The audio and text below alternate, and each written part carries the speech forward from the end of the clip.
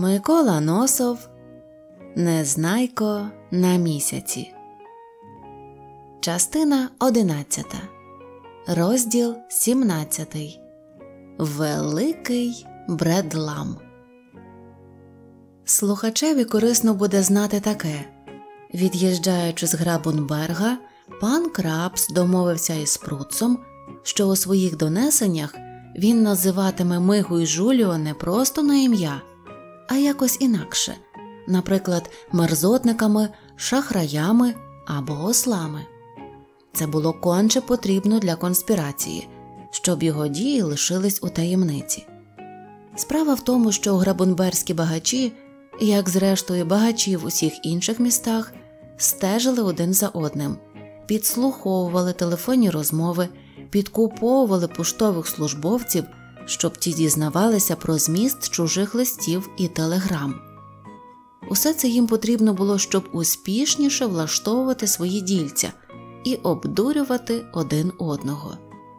Пан Спруц розумів, що коли інші багачі пронюхають про його переговори з Мигою і Жуліо, то хтось може подумати, ніби він зацікавлений у гігантських акціях. Тоді всі кинуться, щоб купити якнайбільше акцій, а вигода від того може бути тільки для Жуліо з Мигою. Пам'ятаючи про свою домовленість із крапсом, пан Спруц ні скілечки не здивувався, коли одержав телеграму, в якій було написано Два осли зажадали два мільйони. Що робити? Крапс. Прочитавши ці слова, пан Спруц зрозумів, що йдеться зовсім не про справжніх, усім відомих чотириногих, довговухих тварин, а про Мигу та Жуліо, яких крапс назвав ослами лише для того, щоб збити з пантелику любителів пхати свого носа в чуже просо. Всебічно обдумавши зміст одержаної телеграми, пан Спруц викликав свою секретарку і звелів її відповісти крапсові такою телеграмою Зволікайте, вводіть за носа, збираю великий бредлам, спруц. Що означають фрази зволікайте і водіть за носа, можна сподіватися, зрозуміло кожному, а слова збираю великий бредлам означали, що пан Спруц вирішив обговорити пропозицію Миги й Жуліо на раді капіталістів. Треба сказати, що всі багачі, які жили в місячних містах, об'єдналися в товариства, котрі називалися бредламами. Так, наприклад, був сирний бредлам, до якого входили власники сироварних фабрик, цукровий бредлам, що об'єднував усіх цукрозаводчиків, вугільний бредлам, що об'єднував власників вугільних шахт, і так далі. Такі бредлами потрібні були багачам для того, щоб тримати в покорі робітників і витягувати з них якнайбільше прибутків. Зібравшись разом, капіталісти домовлялися між собою, яку заробітну платню платити робітникам. Завдяки цій змові ніхто не платив робітникам більше від тієї суми, котру капіталісти встановили спільно, і робітники ніяк не могли добитися поліпшення умов життя. Крім того, Бредлам встановлював ціни на продукцію, яка виробляється, наприклад, на цукор, на сир, на тканини, на вугілля. Ніхто не мав права продавати товари дешевше від установленої бредламом ціни, і тому ціни весь час були високі, що знову таки дуже вигідно для фабрикантів. Крім окремих так званих малих бредламів, був один так званий великий бредлам, до якого входили представники всіх інших бредламів. Головою великого бредламу був пан Спруц. Через день після того, як секретарка сповістила всіх членів великого бредламу про те, що їм треба прибути на нараду, великий бредлам зібрався в кабінеті пана Спруца за великим круглим столом, і пан Спруц зробив повідомлення про причини такого негайного засідання. Довідавшись, яка біда їм загрожує у зв'язку з появою гігантських рослин, члени бредламу розхвилювалися і всі, мов один, пристали на пропозицію пана Спруца, який сказав, що все діло з гігантськими рослинами неодмінно треба вбити в зародку, тобто ще до того, як воно розвинеться на повну силу. Після пана Спруца виступив меблевий фабрикант і власник лісопильних заводів Дубс, який прославився тим, що в нього була важка, наче витисана з дубової колоди голова, яка важко поверталася то в один бік, то в другий, і ледве нахилялася, коли йому треба було подивитися вниз. Коротунчиків з такими головами серед місячних жителів називали дуботовками. Пан Дубс сказав, що у нього є дві здібні і навіть талановиті у своєму роді особи. Саме так пан Дубс і висловився, які можуть узятися до цього діла і миттю приберуть з дороги Мигу й Жуліо, а заразом і незнайка з козликом. Вони тобто кокнуть їх, не кажучи лихого слова, десь у темному кутку за невеличку винагороду, або, якщо сказати простіше, уб'ють, пояснив свою думку пан Дубс. Пан Спрут сказав, що пан Дубс, мабуть, його не зрозумів, бо, говорячи про те, що діло треба вбити в зародку, він зовсім не думав, що когось треба вбити в буквальному розумінні цього слова. Такі методи в даному випадку не годяться, сказав пан Спруц, оскільки діло вже набрало широкого розголосу, то інтерес до гігантських рослин лише зросте, якщо хто розправиться з Мигою і Жуліо у такий енергійний спосіб. Це може примусити власників гігантських акцій добиватися прискорення доставки насіння з поверхні місяця, і з усіх наших зусиль не буде ніякого пуття. Вбити треба саму думку про гігантські рослини, тобто зробити так, щоб ніхто більше не вірив, що є таке фантастичне насіння. А цього можна домогтися, якщо Мига й Жуліо втечуть з вирученими від продажу акцій грішми. Чому ж вони досі не втекли? Хіба їм самим цікаво, щоб у нас з'явилося це ідіотське насіння? запитав капіталіст Тупс. Капіталіста Тупса ніяк не можна зарахувати до тих коротунчиків, яких називають дуботовками, бо голова у нього була цілком благовидна і вільно поверталася в усі боки. Проте думав він, напевне, так само туго, як і пан Дупс.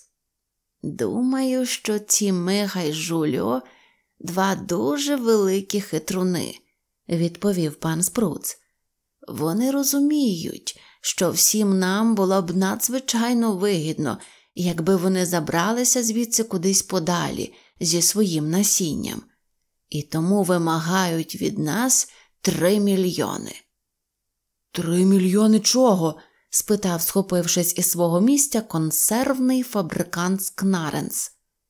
Цей Скнаренс був дуже худий і дуже жовтий коротунчик, що всім своїм виглядом скидався на суху тараню. Очі в нього були тьмяні й згаслі, як у дохлої риби, і оживали лише тоді, коли мова заходила про гроші. Ось і тепер, як тільки Скнаренс почув слова три мільйони, в очах його спалахнули неспокійні вогники, і він підскочив так жваво, мов би його хто зненацька штрикнув ззаду шилом. Ну, чого три мільйони? нетерпляче відповів Спруц. Звісно, не три мільйони старих калош, а три мільйони фертингів. Ах так. вигукнув пан Скнаренс, наче тільки тепер зрозумів, про що йшла мова. Виходить, три мільйони фертингів повинні дати ми їм? Саме так, підтвердив пан Спруц. Ми їм. А не вони нам? Ні, ні, не вони нам, а ми їм. Тоді це для нас невигідно, заявив Скнаренс. Якби три мільйони дали вони нам, оце було б вигідно, а якщо ми їм, це невигідно. За що ж вони давали б нам три мільйони? заперечив пан Спруц. Це правда, що ні за що. Очі Скнаренса знову потухли. Він сів на своє місце, але одразу ж знову підскочив, енергійно затряс головою і сказав Однак це це страшенно невигідно. Слідом за Скнаренсом виступив житель місячного міста Брехенвіля, мільйонер Захланс. Він сказав Пан Скнаренс має слушність. Важко віддавати гроші, коли їх можна не віддавати, але коли треба віддати, то легше їх вийняти все таки не з своєї кишені, а з чужої. Правильно я кажу. Косо зиркнувши з під брів на багачів, які сиділи круг столу, пан Захланц голосно зареготав, після чого повів далі. Три мільйони сума безперечно велика, тут і говорити нічого. Але якщо її розкласти на всіх багачів, у тому числі й на дрібних, а дрібних багачів, як ми знаємо, більше, ніж великих, відомо, що всякої дрібноти значно більше на світі, ніж речей порядних. Правильно я кажу? Ха-ха-ха. То кожному доведеться заплатити не так уже й багато. Таким чином можна зібрати і не три, а цілих чотири мільйони, і навіть більше. Три мільйони віддамо цим авантюристам ми зі Жуліо, хай котяться звідси, а решту грошей візьмемо собі за труди. Правильно я кажу? Неправильно, перепинив його спруц. Як тільки ми почнемо збирати з різної дрібноти гроші, всім стане відомо, навіщо це нам потрібно. Всі розуміють, що багатим не хочеться, щоб з'явилися ці фантастичні рослини. Ось тоді спробуй доведи, що на світі нема ніяких гігантських рослин. Ні, панове, гроші на це діло повинні дати тільки ми з вами, тільки ті, хто зараз перебуває у цій кімнаті. І ніхто, розумієте, ніхто, жодна жива душа не повинна знати, про що у нас тут була розмова. А вам, пане захланце, має бути соромно. Тут стоїть питання про збереження всіх наших багатств, а ви в цю мить думаєте тільки про те, щоб погріти руки. Хочете привласнити зайву сотню фертингів. Соромтеся. Ну що ж, замахав руками пан Захланц. Сотня фертингів, вона що ж, сотня фертингів, завжди сотня фертингів. Правильно я кажу, сотня фертингів на дорозі не валяється. Хіба вам самому не потрібна сотня фертингів? А не потрібна, то дайте мені її. Правильно я кажу. Мільйонер Захланс довго ще бурмотів щось про свою сотню фертингів, але нарешті він угамувався. Пан Спрутс вирішив, що з усією цією справою вже покінчено, але раптом слова попросив пан Скуперфільд, власник величезної макаронної і вермішельної фабрики, відомої під назвою Макаронне підприємство Скуперфільда. Пан Скуперфільд, як і пан Захланс, був жителем місячного міста Брехенвіля. Треба сказати, що серед брехенвільців ніхто не прославився більше, ніж оці Захланс і Скуперфільд. Справедливість, однак, вимагає згадати, що прославились вони обоє не якимись добрими ділами, а тільки своєю скупістю і захланністю. Жителі Брехенвіля ніяк не могли дійти остаточної думки, хто ж із цих двох скупердяг скупіший, і через це між ними весь час виникали суперечки. І якщо хтось твердив, що скупіший Скуперфільд, то одразу ж знаходився інший коротунчик, який починав доводити, що скупіший Захланс. Ті, що сперечалися, наводили сотні прикладів на підтвердження своєї правоти. Кожен закликав на допомогу свідків і очевидців, що так чи інакше постраждали від скупості того чи того жаднюги. В суперечку поступово встрявали нові й нові коротунчики, і діло частенько кінчалося бійкою. Слухачеві цікаво буде дізнатися, що, незважаючи на цілковиту схожість характерів, Захланс і Скуперфільд на вигляд були повною протилежністю один одному. Захланс своєю зовнішністю був дуже схожий на пана Спруца. Різниця була в тому, що обличчя у нього було трохи ширше, ніж у пана Спруца, а ніс трішечки вущий. У той час, як у пана Спруца були дуже акуратні вуха, в захланца вуха були великі і недоладно стирчали в сторони, від чого обличчя ставало ще ширше. Що ж до Скуперфільда, то він, навпаки, зовні більше скидався на пана Скнаренса, таке ж пісне, як у тарані обличчя, але ще більше, якщо так можна сказати, жилаве й висохле, такі ж порожні риб'ячі очі, хоч наче трошки живіші. На відміну від Скнаренса, пан Скуперфільд був зовсім лисий, У нього на голові не було жодної волосинки. Худа шкіра так туго облягала його череп, що здавалося, ніби голова його була костяна. Губи у нього були тоненькі, зовсім безкровні. До того ж, голос у нього був дуже немилозвучний, якийсь різкий, деренчливий. Коли він говорив, то здавалося, наче хтось заліз на дах будинку і шкребе по іржавому залізу тупим ножем. Незважаючи на те, що вуха у пана Скуперфільда були такі ж великі, як у пана Скнаренса, чув він надзвичайно погано. Йому раз у раз вчувалося, ніби його хтось про щось питає, тому він щохвилини крутив на всі боки головою, прикладав до вуха долоню і препротивно пищав. Га? Що? Ви щось сказали? Я трохи не дочув. Хоча ніхто й не думав ні про що питати його. Кожен, хто вперше бачив пана Скуперфільда, ні за що не повірив би, що перед ним мільйонер. Такий він був худий, і коли так можна висловитись, вузлуватий. Треба, однак, сказати, що худнув пан Скуперфільд зовсім не від того, що йому не було чого їсти, а від своєї жадібності. Кожного разу, коли йому доводилось потратити фертинг, він так нервував, так терзався від жадібності, що втрачав на вазі. Щоб відшкодувати ці втрати, він з'їдав щоденно по чотири сніданки, по чотири обіди і чотири вечері, але все одно не міг потовстіти, бо йому не давала спокою думка, що він витратив на харчі вже велику суму грошей. Пан Скуперфільд чудово знав, що ця жадібність шкодить його здоров'ю, але із своєю собачою натурою, так він казав сам, нічого вдіяти не міг. Він чомусь узяв собі в голову, що його і без того колосальне багатство безперервно має зростати, і коли йому вдавалося збільшити свій капітал хоча б на один фертинг, він мало не стрибав од радості. Коли ж треба було витратити фертинг, він впадав у відчай, йому здавалося, ніби настає кінець світу, ніби скоро всі фертинги, наче під впливом якоїсь лихої сили, зникнуть з його скринь і він з багатія перетвориться на злидаря. якщо інші багачі цілком володіли своїми грішми, користувалися ними для своїх примх і забаганок, то про Скуперфільда можна було сказати, що гроші повністю володіли ним. Він цілковито перебував під їхньою владою, був покірним слугою своїх грошей. Він старанно плекав, беріг і ростив свої капітали, не маючи від них ніякої, хоча б найменшої користі для себе.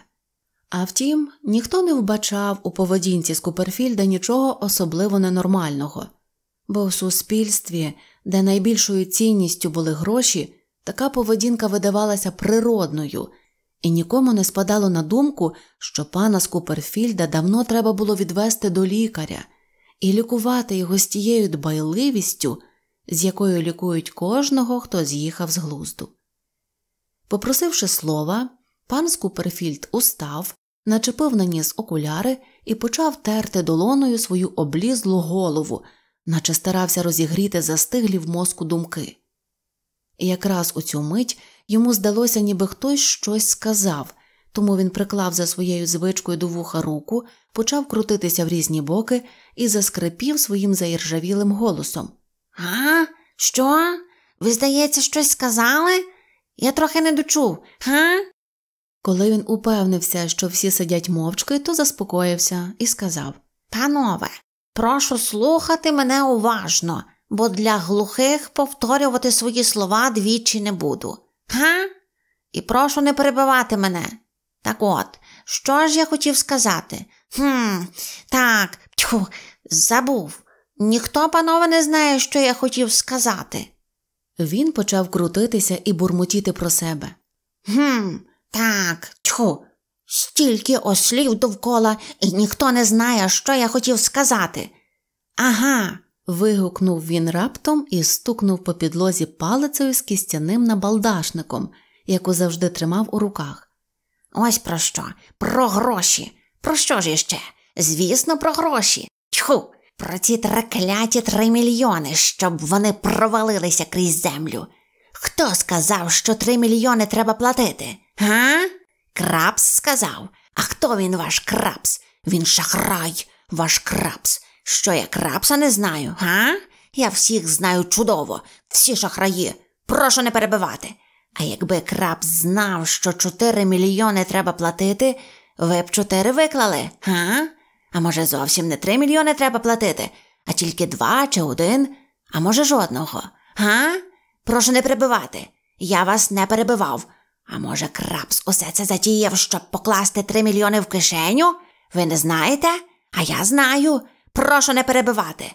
Я ось поїду в Давилон і побалакаю сам з цими Мигою і Жуліо.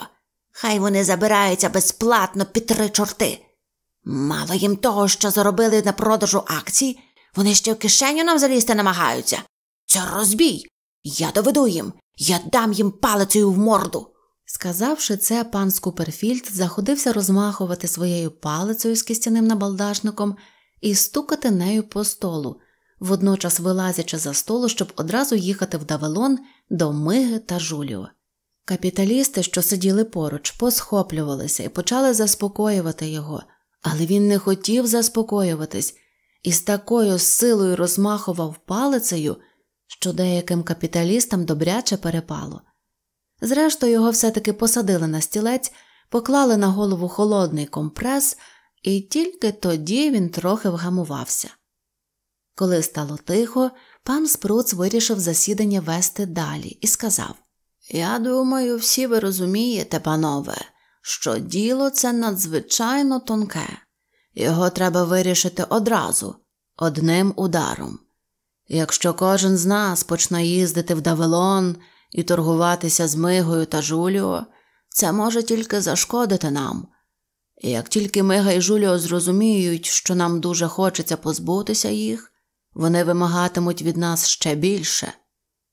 Відверто скажу, що ці Мига і Жуліо просто два дурні, бо зажадали від нас дуже мало.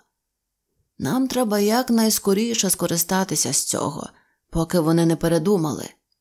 Я пропоную не торгуватися із за дрібниць і вирішити негайно. Тут нас 31 член великого бредламу. Якщо 3 мільйони поділити на 31, то вийде менше, ніж по 100 тисяч фертингів. Для кожного з нас ця сума просто мізерна. Панове. закричав, схоплюючись Куперфільд. Панове, навіщо вам ділити 3 мільйони на 31? Це ж важко. Значно легше поділити 3 мільйони на 30. Не рахуйте мене, вас залишиться рівно 30. 3 мільйони поділіть на 30, вийде рівно по 100 тисяч з кожного.